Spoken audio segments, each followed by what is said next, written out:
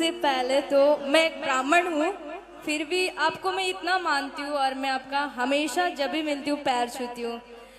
क्योंकि मैं आपको हमेशा आप जैसे आप बोले हमको कि एक बहन के दर्जे में देखते तो उसी दर्जे में मैं आपको एक गॉड की तरह देखती हूँ। फ़र्स्ट टाइम मिली थी तब भी बोल रही थी अभी मिली हूँ तब भी बोल रही हूँ और जब भी मिलूँगी तब भी बोलूँगी ये चीज़। और मेरे को आपसे कभी काम के लिए लालच नहीं है।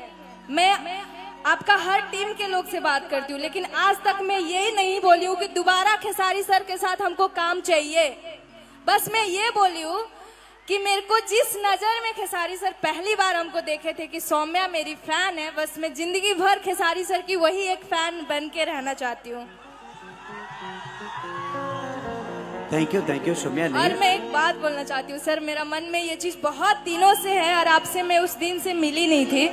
मिलने की बहुत कोशिश की थी, मेरे साथ बहुत गेम भी हुआ था। तो मैं आज आपके साथ मिली हूँ तो बताना चाहती हूँ कि ये टैटू मेरे हाथ में जैसे आप देखे थे, अभी भी है। अरे, आजीवन!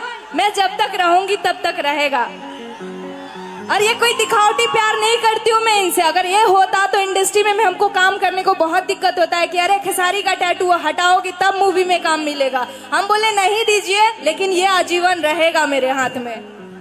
थैंक यू थैंक यू देखो बेटा, आप टाइटू ये टाइटू बहुत छोटी चीज़ है। ज़िंदगी में इस टाइटू से बड़ा आपका क्रम है, आपकी मेहनत है। उसको बड़ा करिए, खेसारी तो अपने आप में आपके साथ है। और पूरी दुनिया आपकी अपनी हो जाएगी, वो सिर्फ़ मेहनत से हो सकता है। नहीं तो किसी के टाइटू बनवा लेने से अगर इंसान महान हो जाता बेटा तो मुझे लगता है कि हर आदमी राम का, कृष्ण का, हर आदमी का टाइटू बनवा कर बड़ा हो जाता। बट आपके अंदर बात थी, आपने मेहनत की, सिर्फ़ टाइटू के वजह से हो सकता है कि दुनिया आपको जाने। बट इस दुनिया के दिल में जगह बनाने के लिए आपने मेहनत की। कि हमारी जान आज हरदी से लटाइल बड़ी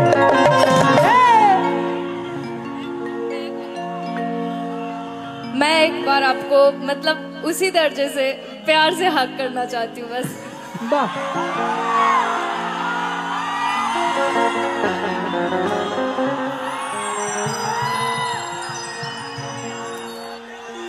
काहे कर माइकवा काट देता रहो।